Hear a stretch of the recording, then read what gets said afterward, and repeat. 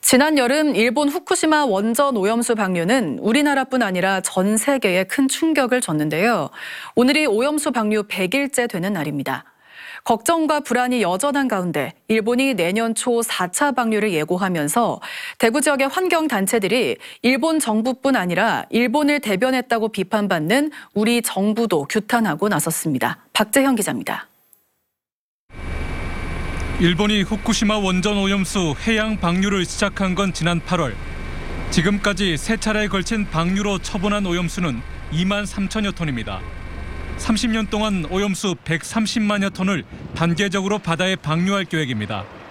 오염수 방류 100일째인 오늘 대구 지역 환경 단체 등은 일본의 방사성 핵오염수 해양 투기를 규탄했습니다. 방류까지 처분한 방사성 오염수는 총 23,400톤입니다. 도쿄전력은 내년 2월 말에 4차 방류까지 오염수 3만 1,200톤을 바다에 내보낼 계획이라고 합니다. 국민들의 먹거리 안전과 밀접한 문제인데도 윤석열 정부가 일본의 입장을 대변했다는 성토도 이어졌습니다.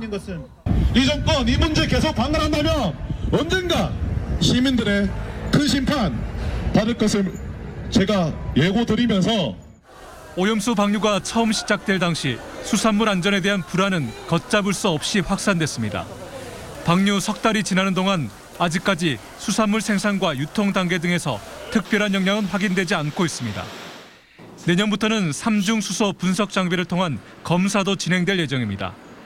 하지만 걱정은 여전하고 불안은 가시지 않고 있습니다.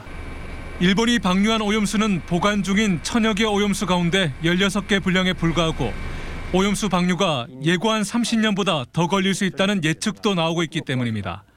그 영향을 단정하기 이르다는 얘기입니다.